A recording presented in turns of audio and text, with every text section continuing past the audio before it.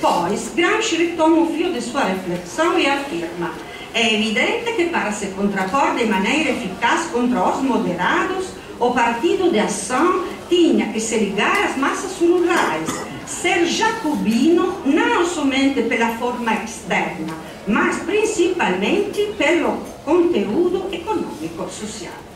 Teria sido necessário apoiar as reivindicações dos camponeses pobres e estimular os intelectuais dos estratos médios e inferiores para se chegar a uma nova forma de Estado mais progressiva.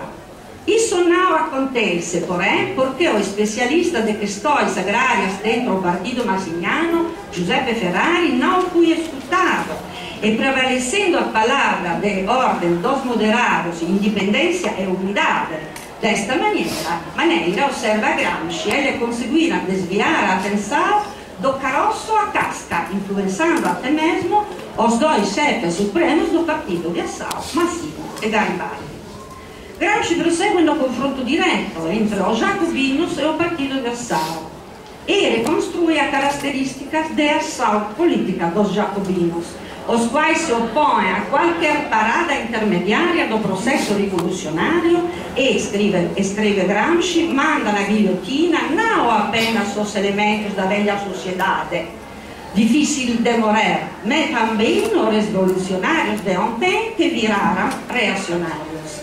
Eles foram, portanto, o único partido da Revolução e Marto.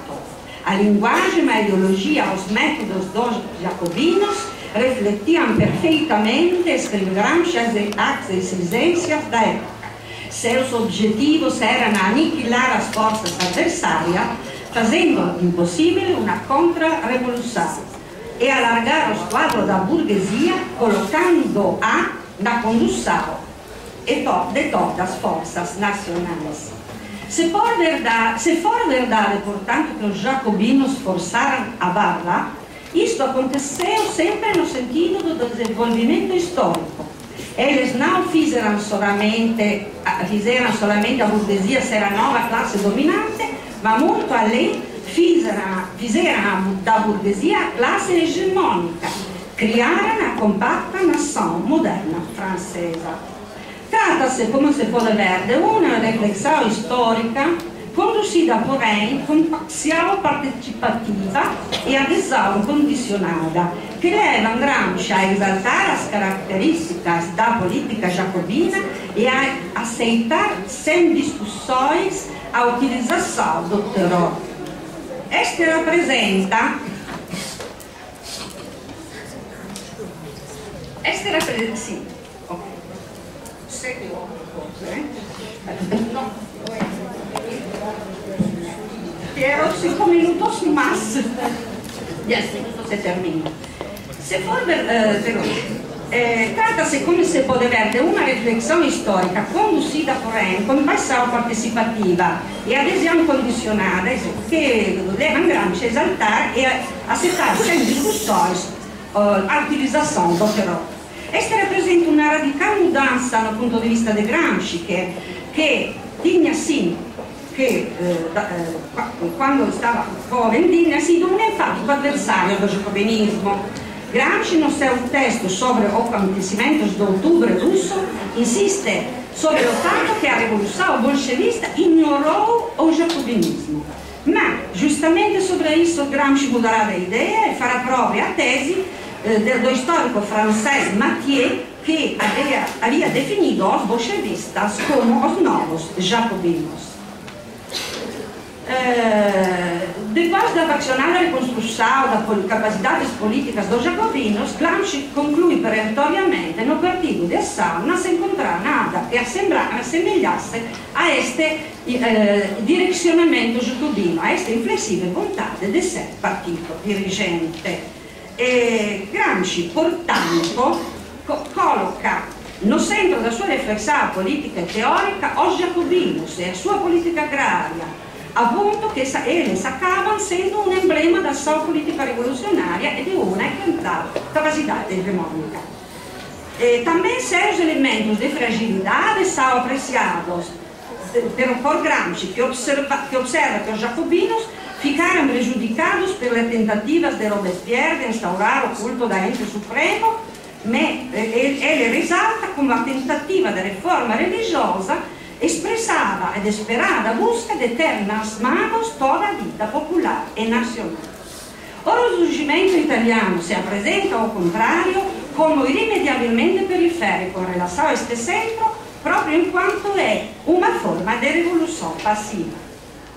Un'altra cosa a se esclarecer è che per Gramsci teoria di rivoluzione, passiva non deve, essere intendida come programma, deve essere intendida esclusivamente come un criterio di interpretazione storica. Pertanto, la rivoluzione passiva è un effettivo processo di mudanza che possui un segnale negativo per il fatto che non tem partecipação do povo a centralità assoluta del Giacobino e della sua politica, voglio terminare, corrisponde pertanto a naturalezza periferica del risorgimento italiano, una serie di eventi che ha con sé tense il suo bossigno da egemonia moderata.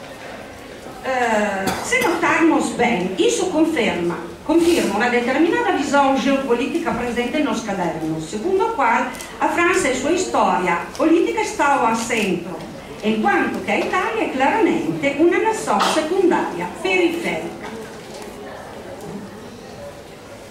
Se para a França podemos apreciar acenos por parte de Gramsci de revisão crítica e também para os jacobinos se entrevê alguns elementos de reflexão menos apologético, o que é estranho na geopolítica dos cadernos gramscianos o escasso espaço ocupado pela União Soviética.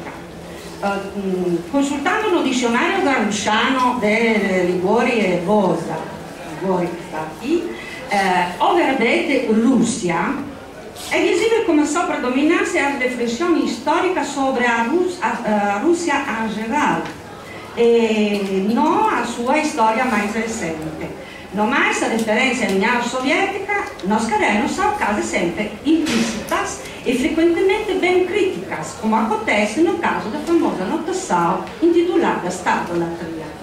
Este relativo silêncio e redação oblíqua pode ser explicado como uma forma de cautela por parte de Gramsci uh, e todavia esta parece uma explicação insuficiente, porque temos de constatar que também na presença da Revolução Bolchevista nas páginas dos cadernos se reduzida a mínimo. Bolchevistas e bolchevismo está citado apenas uma vez. Não conduz em diversa direção o fato que também Stalin seja citado nos cadernos apenas uma vez.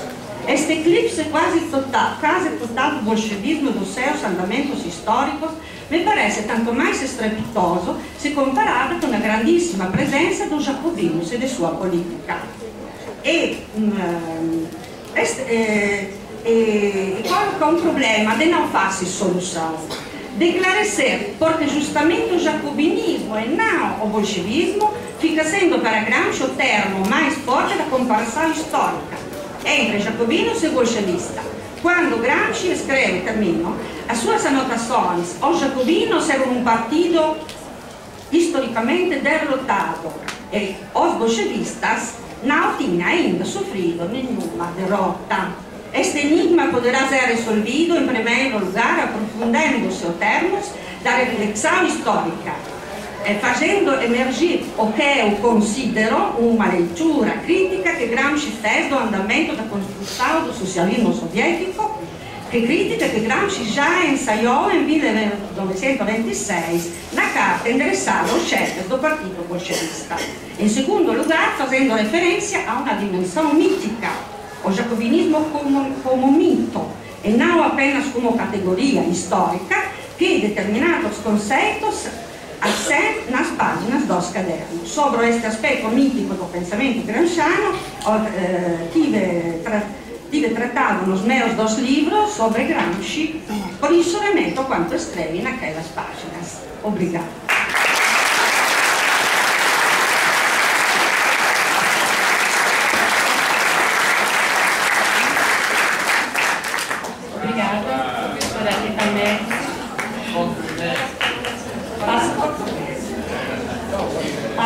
passa a palavra então ao doutor Adão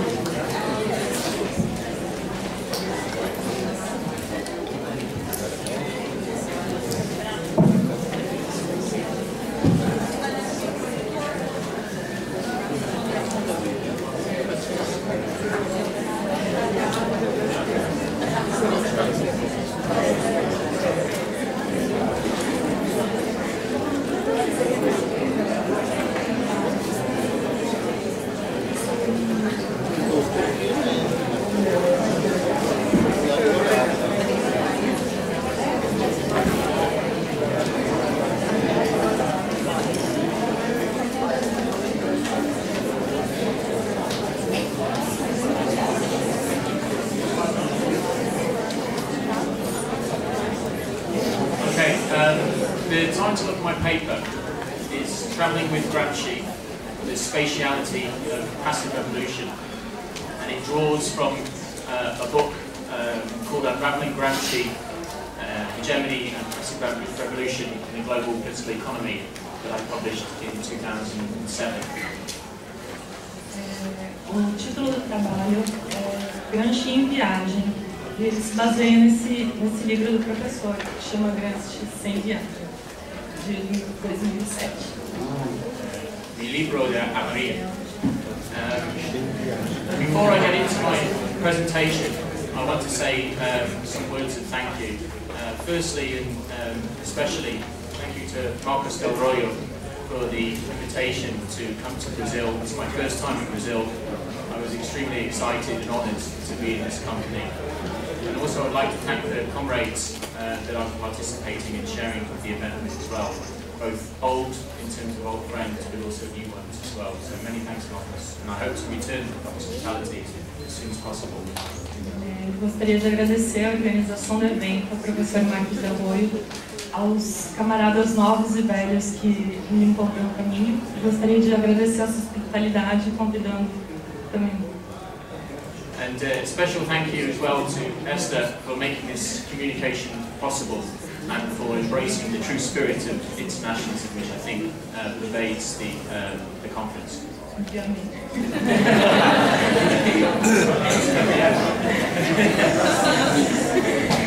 Okay. Um, I want to start with a quote uh, from a book um, by Samir Ibn, uh, a very famous uh, academic. And uh, this book is called uh, Eurocentrism, published in 1988. Uh, uh, the, the fragment from the book, I think, is better than the rest of the book, but we should see. Ele vai fazer uma citação desse livro do Samir Amin. Ele diz que a citação é, é melhor do que o resto do livro. He says, It is obvious that despite its backwardness, Germany succeeded in catching up to and surpassing England in a few decades in the 19th century. How much time would Brazil need to catch up to and surpass the United States? Is this prospect even conceivable in the future? Clearly. When it is said that Brazil could develop itself and even become a centre of the First Order, who could doubt it? If Brazil had a social revolution, quite new prospects would open up for sure. But that is not the question. Rather, it is to know if the Brazilian bourgeoisie can undertake reforms of this magnitude, and if, failing that, the most violent social oppositions could be gradually corrected by a purely capitalist development. Se, apesar dos contratempos, a Alemanha teve sucesso em alcançar e ultrapassar a Alemanha.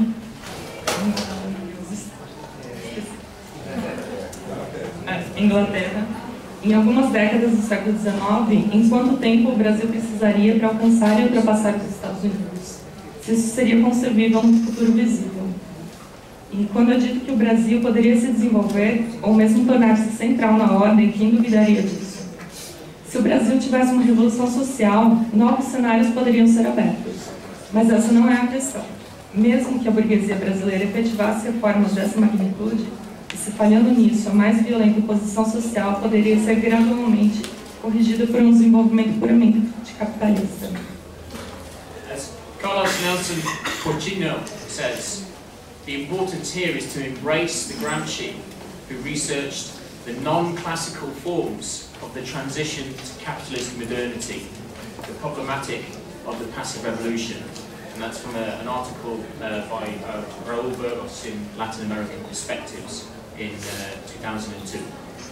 Como, como diz o Carlos Nelson Continho, para compreender o Gramsci, em pesquisas em formas não clássicas da transição capitalista à modernidade, da Revolução Passiva na América Latina. E esse, esse trecho está num, num texto do Raul Burgos. These factors, therefore, all relate to the condition of passive revolution.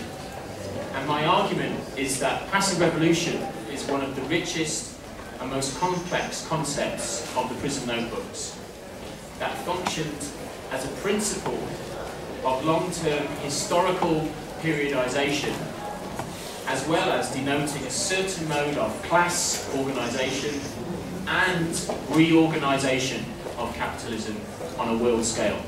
Essa, essa citação se relaciona com, com o conceito de revolução passiva. E o argumento do professor é que essa é uma das dos conceitos mais ricos e complexos dos cadernos do cárcere, que funcionam como, como um princípio de periodização histórica de longo prazo, também para denotar uma organização de, um meio de organização de classe e uma reorganização do capitalismo em escala mundial.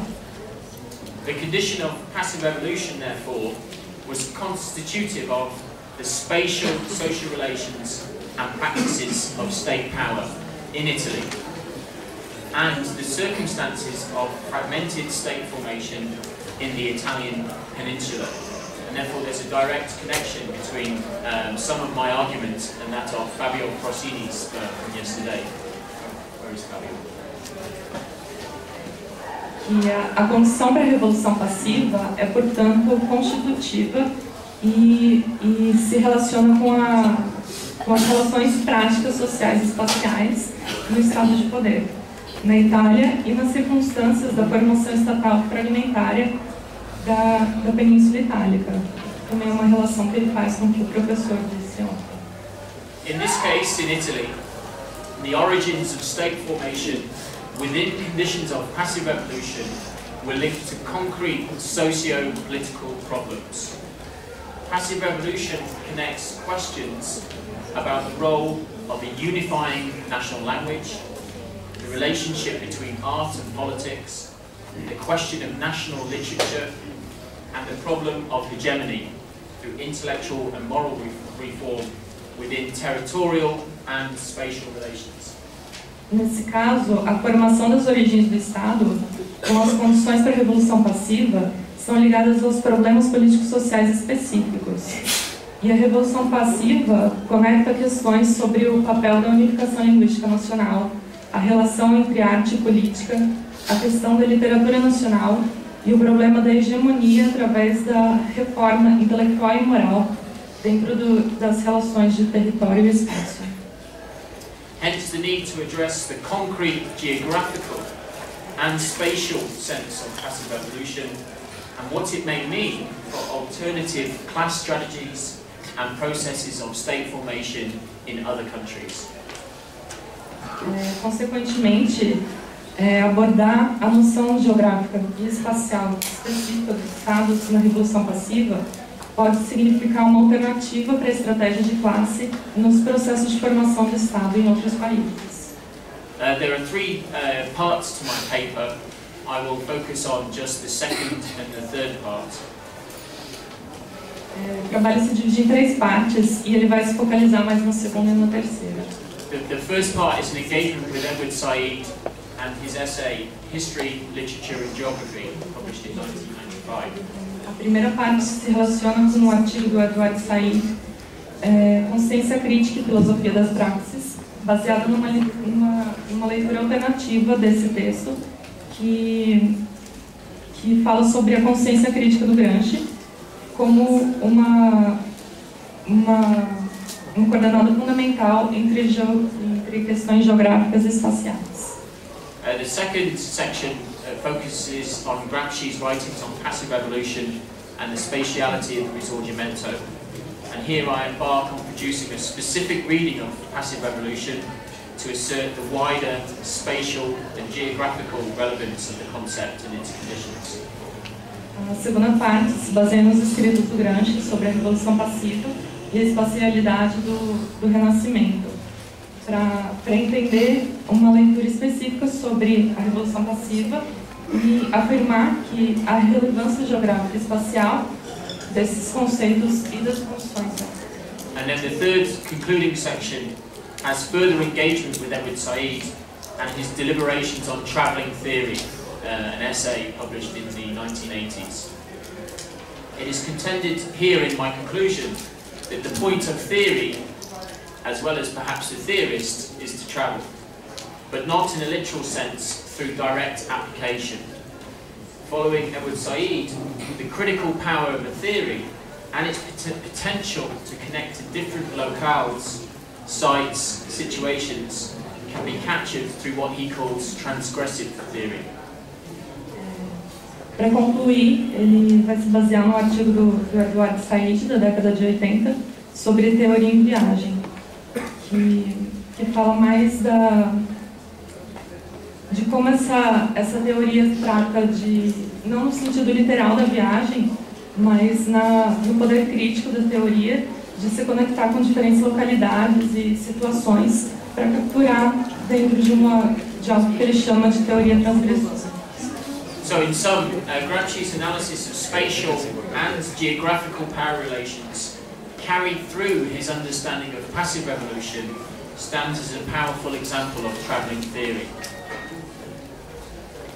A análise do Gramsci sobre as relações de poder espaciais e geográficas são entendidas por meio de uma leitura alternativa da revolução passiva e, e são entendidas como um exemplo, um bom exemplo da teoria em viagem.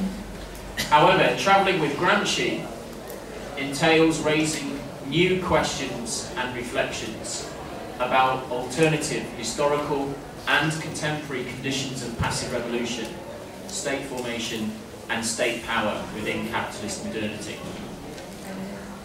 Apesar disso, Gramsci em viagem eh, implica numa, em, em levantar novas, novas questões e reflexões sobre as condições históricas e contemporâneas da Revolução Passiva, da formação do Estado, o poder do Estado no capitalismo moderno. So, the second section of the paper, to start with a quote from Gramsci. He says, Capitalism is a world historical phenomenon, and its uneven development means that individual nations cannot be at the same level of economic development at the same time. Ele começa a segunda parte, que trata da Revolução Passiva e da espacialidade do Renascimento, citando Gramsci, que fala que o capitalismo é um fenômeno mundialmente, mundial e histórico, que, sobre o desenvolvimento desigual. E ele afirma que, que significa que cada nação não pode estar no mesmo nível de desenvolvimento econômico ao mesmo tempo. Uneven development is therefore understood as a series of class struggles and national wars, excuse me, of passive revolution from the 18th and 19th century in Gramsci. o desenvolvimento desigual é, é entendido como, como uma série de lutas de classe e de lutas nacionais para a Revolução Passiva no século XVIII e XIX. As a definition, passive revolution explains how capital accumulation and the construction of a capitalist social order is secured through class struggles which allow the bourgeoisie to gain power and change the character of the state. Para definir, a Revolução Passiva explica como a acumulação do capital e a construção do, do capital social, da, da ordem capitalista social, é, é assegurada através da luta de classes que permitem que a burguesia ganhe poder e mude as características do Estado. In the case of Italian state formation, Gramsci looked at the condition of stagnation, the deadlocked between the dominance of mercantile capital in the city and the signori of the countryside. Para considerar a formação do Estado italiano, ele analisa a condição de, de, de impasse entre a dominação do Estado do capital mercantil e das, nas cidades e, do, e o poder do signore no campo. Obviously, also the southern question of the Mezzogiorno, based on the class structuring of north and south, again with those spatial metaphors. E também, obviamente, na questão meridional, que se baseia na, na estrutura de classe diferenciada entre o norte e o sul. And also, of course, in reference to the Italian Risorgimento of 1860 to 61 as a modernising class strategy of state-led development ensuring capitalist property relations. e também no Renascimento Italiano de 1860 a 61, como uma estratégia modernizante de classe do, guiada pelo Estado para assegurar as relações de, as relações de propriedade no capitalismo. Implicitly here, Gramsci is talking about conditions of primitive accumulation that Marx referred to, where capital enters modernity through every pore dripping with sweat and blood. Queria pedir desculpa, eu estou falando renascimento, é ressurgimento. Ele fala sobre a acumulação primativa do capital no centro da modernidade através da. Sorry.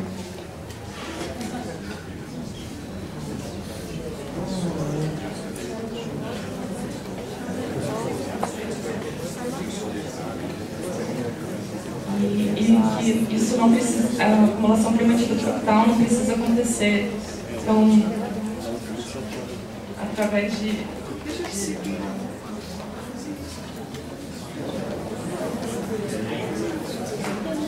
do, do trabalho das pessoas, um trabalho penoso. But also, he importantly talks about fascism as the most recent attempt to ensure the further expansion of capital within Italian history. E também trata do, do, do fascismo como uma forma mais recente de tentativa de, de ampliar a expansão do capital. So, what is emerging here is an awareness of different regional axes of development, not only between north and south, but also in Gramsci between east and west as well, if you think about um, his other famous quotation on the state. O que chama a atenção aqui é a realização de, de eixos diferentes para o desenvolvimento regional, tanto no Ocidente e Oriente, quanto no Norte e Sul.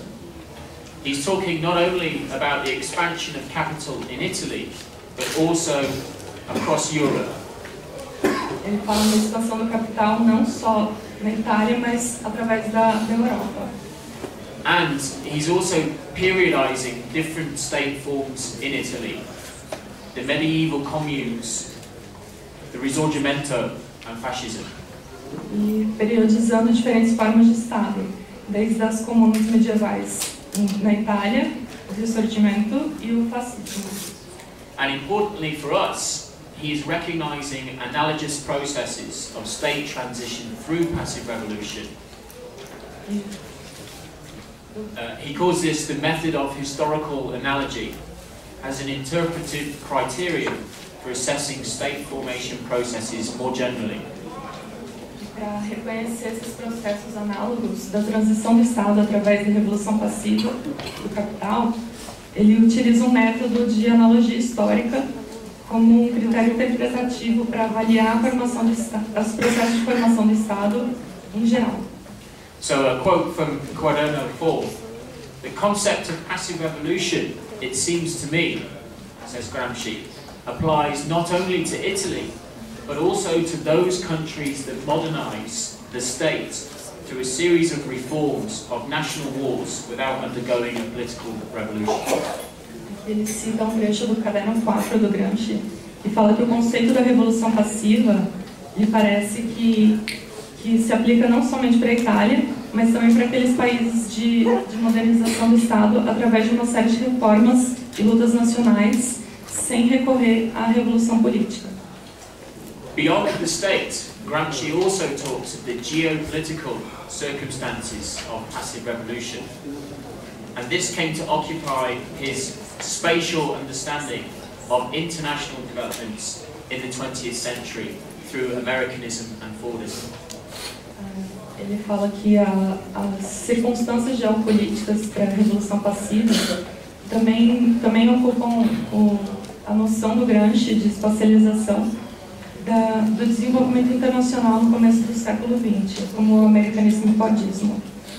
So here I focus on the geopolitical and the sociological dimensions of passive revolution and the analysis of United States world expansionism, a quote, United States world expansionism as both causally significant in struggles, and again I quote, over the security